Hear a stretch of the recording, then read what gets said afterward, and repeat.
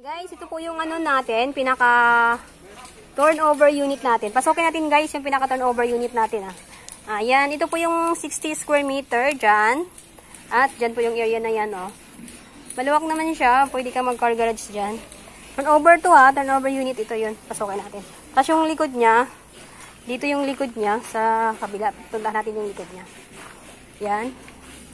Ito yung pinakalikod niya. Hanggang dito po yan sa Nakita niyo po yung nakita niyo po yung ano niyan galon. Diyan hanggang diyan po, hanggang dito po siya. Hanggang dito po siya sa sapatos ko. Dito po siya. Ayan, dito po siya. Ha? Tapos yung ating tiles, ay yung ating lababo po, naka-tiles na po. Ayan po siya. At with cabinet po siya sa ilalim. Ayan. At Meron po siyang sakit sa, li sa, sa likod po. Nakalagay na po yung sakit. Naka-ready na po. Tsaka naka-ready na, na po yung ilaw. Ayan po yung ilaw. Naka-ready na po. Ayan po siya. Ito po. Pasukin po natin yung pinaka actual turnover po. Ito na po tayo sa actual turnover. Ayan. Nakaya naman bagong linis ni kuya. Sorry po. Patay, dumi ng pako. Nakakaya basa kasi. Yan.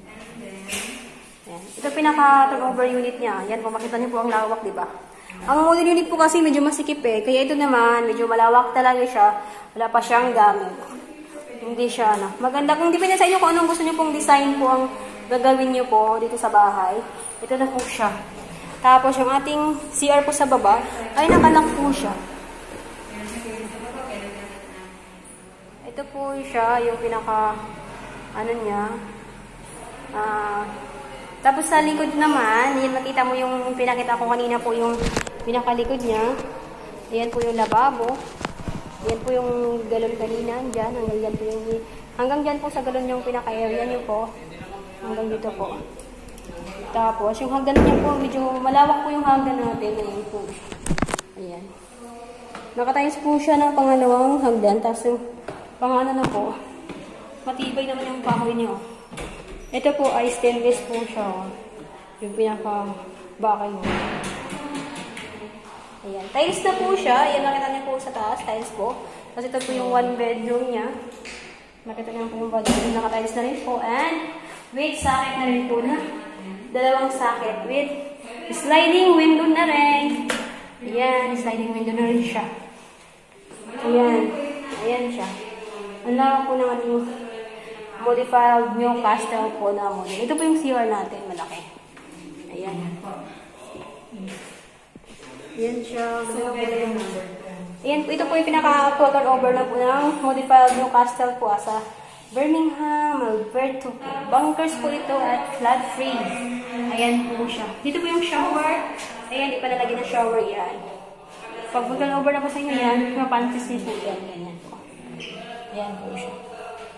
Tapos, pasukin po natin yung pinaka-master bedroom natin. Ayan po yung pinaka-master bedroom natin. Ang luwag po ng ating master bedroom, oh. Pwede dyan ng mga queen size.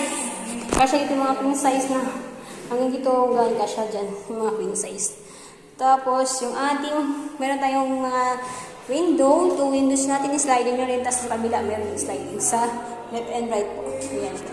Ang ganda dito sa ating Birmingham, naka-ilan tong sa akin dito ay tatlong sa akin po sa master's bedroom. Dito sa kabila, ayan. Tapos sa kabila naman. Tapos, Pasok po natin yung balcony. May balcony dito sa master bedroom. Yung pinaka master bedroom po yung may balcony natin. Ayan po yung balcony natin. Ito po yung actual turnover natin. Ayan, mula dito. Ayan. Ayan. Ito po yung mga lot area po. Magkasya po dyan po yung lot area. Hanggang doon po sa side na po na yon. Ayan. Pwede po yung car garage po dyan. Ayan. Ayan po. Ang lawak po nating master bedroom, no? Kaya po ng queen size dito. At cabinet, pwede rin dyan nilagay mo yung cabinet dyan, no? Side. Depende po sa inyo kung saan nyo design po yung, yung, ano po, ay, hindi pa. Ayan po, guys. Ayun, guys. Yung CR natin, ang lawak ng CR natin, ang ganda ng design. Malawak po yung CR. Ang laki po ng CR niya. Ayan. Pauwi na po tayo guys. Ah, sa mga nanonood po, thank you for watching po guys. And God bless po. Stay safe. Sa hindi pa nakapag-subscribe, don't forget to subscribe my channel and bell the button para ma-notify kayo sa mga next vlog ko.